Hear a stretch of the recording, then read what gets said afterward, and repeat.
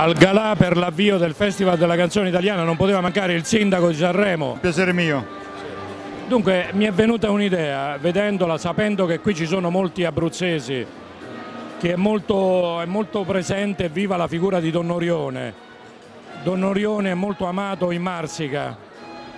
A seguito del terremoto lui prese tutti i bambini orfani, portò, li portò via, utilizzando addirittura la macchina del re. Tra questi Ignazio Silone.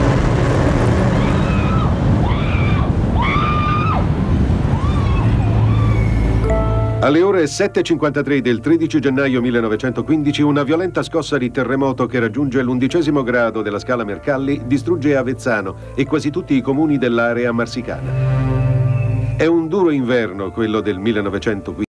L'Italia, ancora neutrale nella guerra che già sta infiammando l'Europa, si mobilita a favore dei terremotati. Il problema principale è quello delle migliaia di bambini rimasti orfani, tra di essi anche Secondino assieme al fratello Romolo. La madre è rimasta sotto le macerie mentre il padre era morto tre anni prima.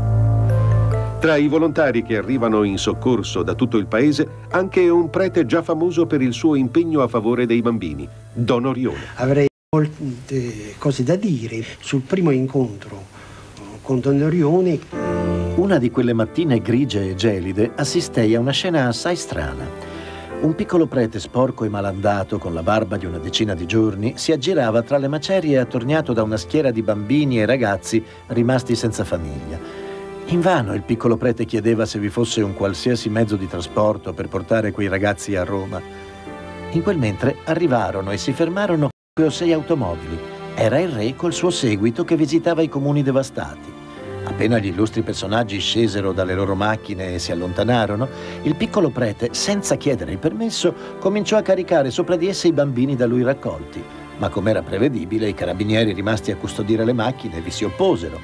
Affatto intimidito, il prete chiese al re di lasciargli per un po' di tempo la libera disposizione di quelle macchine. Date le circostanze, il re non poteva consentire. Appena il piccolo prete con il suo carico di ragazzi si fu allontanato, chiesi attorno a me chi è quell'uomo straordinario. Una vecchia che gli aveva affidato il nipotino mi rispose un certo Don Orione, un prete piuttosto strano. Ignazio Silone venne qui a Sanremo e vi frequentò il quarto ginnasio. Quindi potremmo proporre un gemellaggio, ci sono tutti i motivi.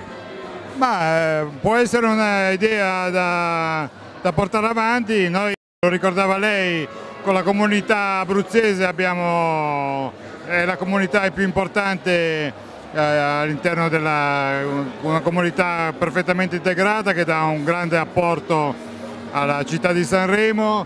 Io stesso ho una moglie abruzzese per cui... Di dove? Di origine di, origine di Chieti. E, per cui insomma è un'idea, insomma il legame solo ideale ma anche e con l'Abruzzo è un legame che è importante portare avanti, per cui noi posso dare una disponibilità di massima a portare avanti questa iniziativa.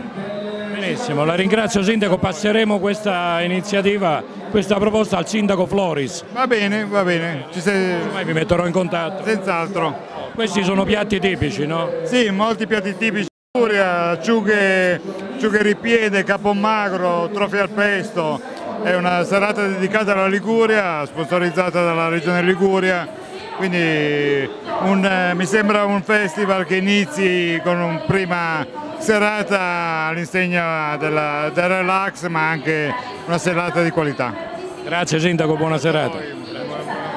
Grazie, buonasera Sindaco.